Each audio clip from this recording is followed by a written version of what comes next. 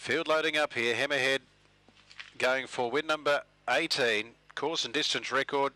10 goes, 5 wins. It's been well backed into $1.55 fixed. It's $2 on the tote.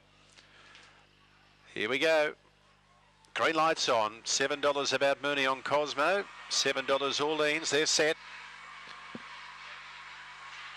Racing slowly away was Jaimandy Carl and Hammerhead the favourite away nicely leads by about a length and a half to two. Mooney on Cosmo second then Lucas Choice. Around the outside goes St. Pauli. further back top alcohol being followed then by Jaimandy Carl. Orleans is back second last and tailed out the back there is Jaimandy Tracy. On the turn they race Mooney on Cosmo the inside of Hammerhead. Further back then St. Pauli. it's Hammerhead who's uh, uh St. Pauli coming late but Hammerhead beats St. Pauli and then came Mooney on Cosmo from top alcohol and Orleans close up as well. Lucas Choice behind those Jaimandy Carl and Jaimandy Tracy. 25.74. Hammerhead gets home in the end. St Pauli Gallant in defeat, but the fall be first. 25.75.